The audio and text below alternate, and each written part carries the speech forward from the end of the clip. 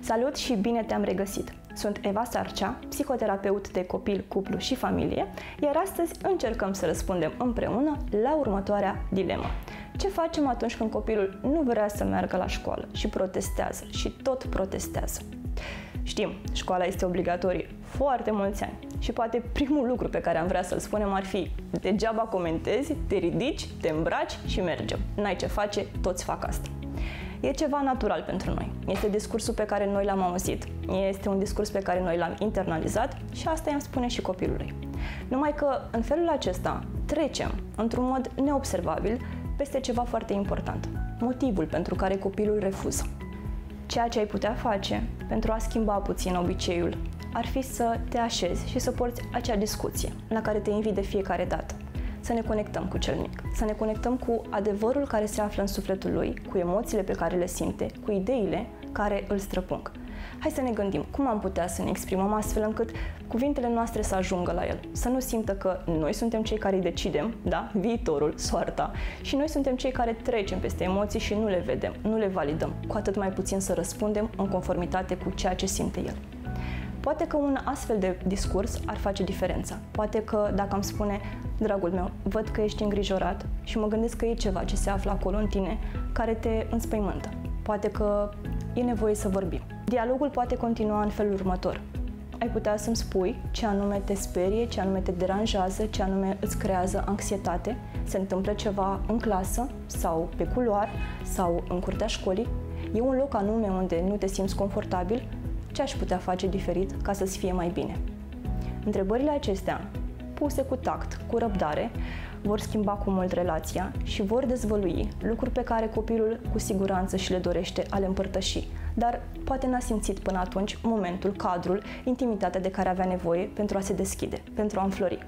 Nu de puține ori suntem frustrați când copiii noștri aleg să împărtășească tainele lor cu persoane diferite, cu persoane străine, am spune, sau cu rude care nu sunt atât de apropiate. Ne simțim trădați ca părinți. Am spune de ce n-a vorbit cu noi mai întâi și a vorbit cu mătușa sau cu verișorul. După ce această discuție a avut loc, după ce conștientizăm exact ce se întâmplă, avem mai multe variante de a acționa. Concret, dacă cel mic a ventilat și a spus emoțiile, le validăm, da? Sunt ale lui. Nu putem să spunem, oh, nu, dar nu contează, treci peste, hai că toți am fost supărați, nu contează, la, lasă fricile. Și dai un examen, ce mare lucru, și o teză, ce mare lucru. Asta nu înseamnă validare sub nicio formă. Asta cu atât mai mult te va îndepărta de copilul tău și nu va mai alege pe viitor să vină să-ți împărtășească ce simte. Dacă totul este în regulă, atunci va merge la școală.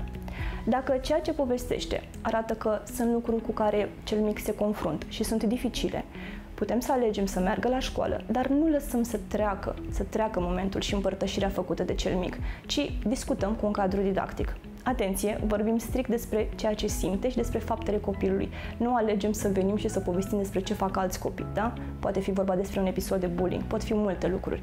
E nevoie să le împărtășim cadrului didactic pentru că acela ne este sprijinul pentru a reuși să avem o relație frumoasă cu școala și să-l ajutăm pe cel mic să crească armonios. Dacă însă descoperi în urma discuției că sunt probleme, că cel mic cu adevărat suferă și că nu poate merge în ziua aceea la școală, într-un mod excepțional poți să fii de acord să nu-l lași la școală.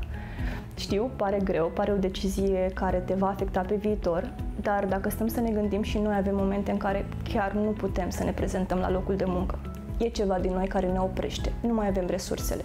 Și atunci e normal să fim îngăduitori și să ne înțelegem copiii. Nu înseamnă că facem un obicei, nu înseamnă că cel mic va profita pe viitor și va repeta scenariul, ci înseamnă că am înțeles că este o situație reală, o problemă reală și că trebuie să intervenim. Și cum intervenim? Căutând soluții.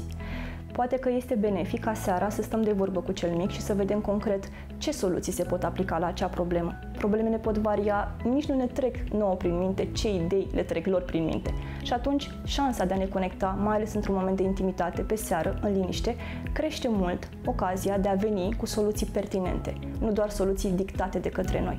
Iar în cazul în care situația persistă, soluțiile pe care încercăm noi să le aplicăm nu au rezultatul pe care ne-l dorim, atunci recomandarea ar fi să apelăm la persoane specializate în domeniu, în domeniul asistenței medicale, în domeniul sănătății mentale, să apelăm la psihologi, psihoterapeuți, sofrologi, medici, profesori, astfel încât să reușim să rezolvăm, să simtă cel mic că suntem alături de el. Mult succes!